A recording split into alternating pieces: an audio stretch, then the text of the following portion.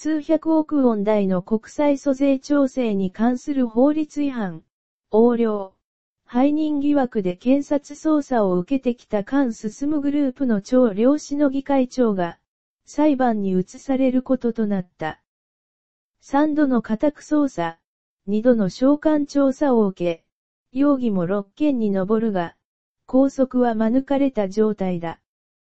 11の捜査当局が全方位での捜査を続けてきた、間進むグループ一家パワハラ事件以降、初めての起訴であり、